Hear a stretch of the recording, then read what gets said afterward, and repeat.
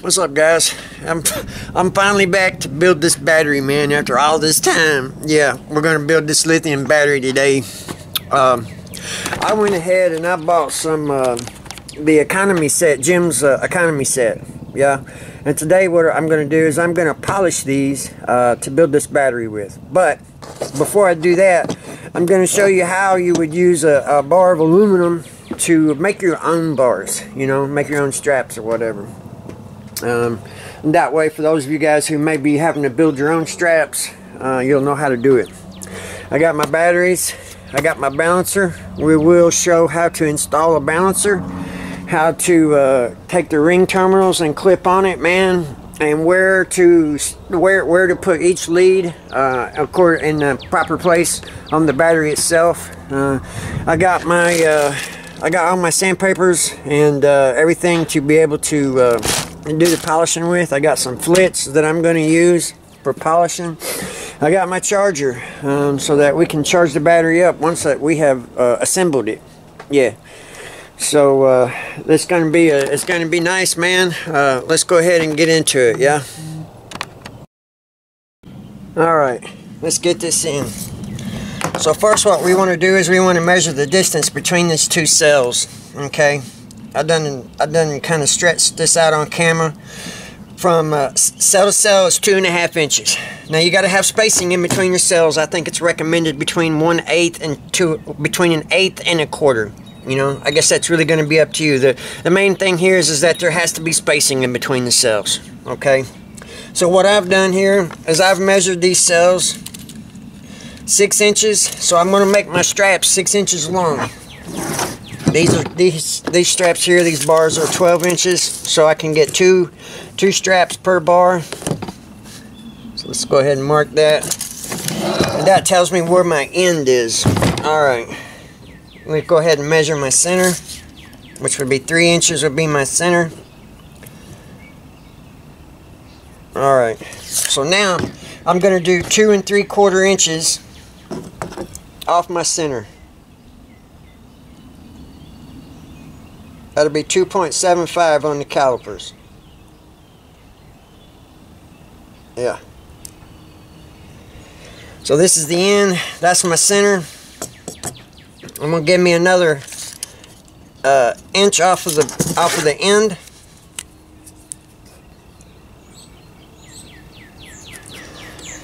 Another inch off this end, or excuse me, half inch. That way I know I got plenty of cell coming over.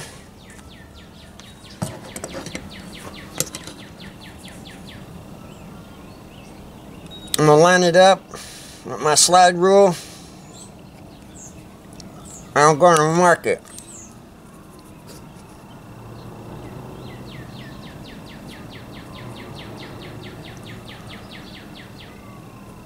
Alright. Now if you want, you can measure this, the width of it, the length of it, find the center of the of the strap, you know, so that you can get this perfect, no problem. I'm not going to do that today simply because what I'm all I'm doing here is trying to show you how to how to get this done. So I'm using a punch. You don't have to use that, but I like to use a punch. I find the center of my strap in that line and I get it and I do it here Alright, so that now my, my bar is punched. I'll come over here, get my drill bits, yeah. Pick out the appropriate size for the terminal. You can see that that's it. This is a half inch. And you would drill your hole. You would find your punch mark, set your drill bit in the punch mark, and then drill. I'm not going to drill it, but that's how you would do it. Make sure that you get your holes straight up and down. Yeah, that's very important. You don't want your hole cockeyed. You want it to be straight up and down as you can. I, I, I recommend a drill press. That's what's going to work best. Yeah, okay. Now, in the center, in the very center of your of your strap, make another punch mark, and that's where your balancer screw is going to go and you would drill a hole for that with the appropriate drill bit and then you could tap it you must tap it for the size screw that you're going to be using and then your strap is complete. And you make as many straps as you need depending on the size of battery that you're building. And that's how you would do it that way. Yeah, it's not too difficult. Uh, it's a little time consuming, you know. Yeah, okay. Uh, and it's not too. It's, it's not. It's not. It's not that hard, you know. Uh, it's all about the the biggest thing that you got to worry about, guys, is having the spacing in between the cells. You absolutely must have that. Yeah. If you've got the spacing, the same spacing for every cell, then you're going to be good to go. Okay. Yeah. No matter which way your strap is going, you're going to be good to go. All right. All right. Let's get over here to polishing these uh, these bars. All right. So I got my terminals laid out here. Uh, I'm just simply using a clamp to kind of hold them together a little bit. That way I can try to do them all at the same time. I got my sandpaper here. I got 600, 800, 1000, 1500, 2000, 3000, and 4000 grits. Uh, that should be plenty enough. I got my WD-40 that we can use to lubricate it with, you know, to get it going. And uh, after we sand it and everything, then we'll start polishing it.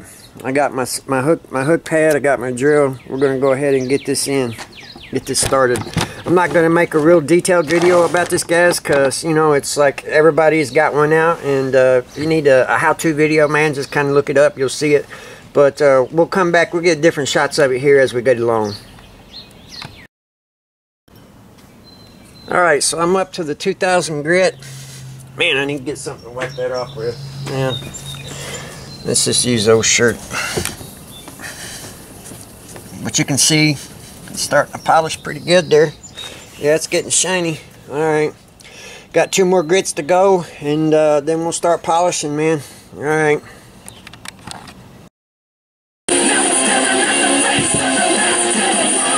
Alright. Uh, I'm not very good at this, guys. This is the first time I've ever attempted anything like this. But, uh, it's working, you know, yeah.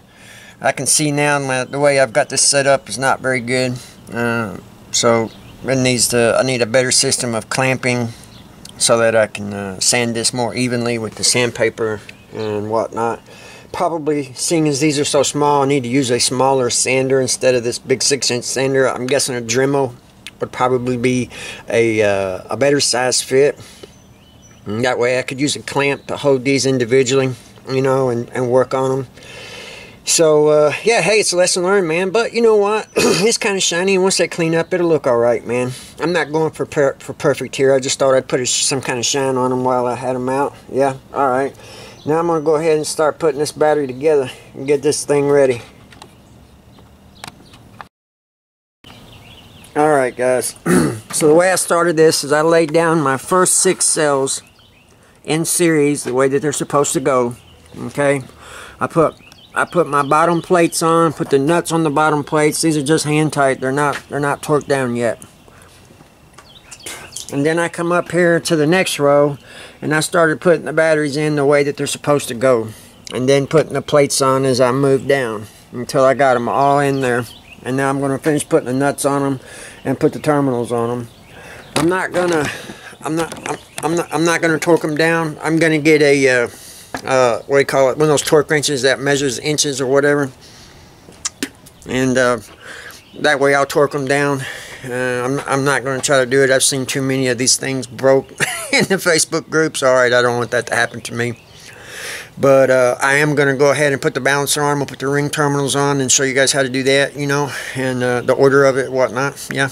All right. All right. So we're back. We got our balancer wired up with the uh, with the rings. Yeah. I got a 12S balancer, but I got a 6S bank. But that's all right because we'll use it. Yeah. We're only gonna wire. We're only gonna use the wires that we need. The rest of the wires we'll tape up and uh, make sure they're out of the way. Yeah, you should have seven leads for a 6S bank. Okay, seven leads. I got seven terminals. We start with the negative, which is on this end. So if we start at this end, then that means we work this way. Yeah, okay. Which means our first one, our ground, our first ground is going to go here. Then our hot, our next one, our next one, the next one, the next one, and the last one. Yeah, that's the order that you'll go in. Just whatever side you start on, you go in the opposite direction of that. Yeah. All right. Let me get this wired up. All right. So it is charging. I got it on AGM trickle charge, which is 2 amps, which is the slowest this charger will go.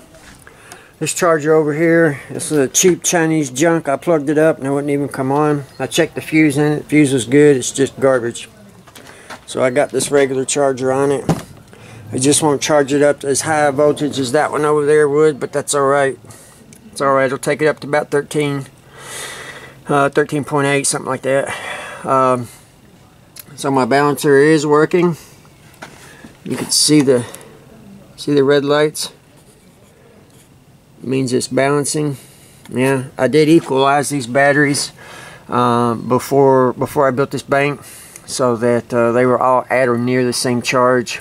You know, I don't know what I I for, I'm sorry, I, I forget the specs on this balancer. I don't know what the difference is in it, but it is working. That's what's important.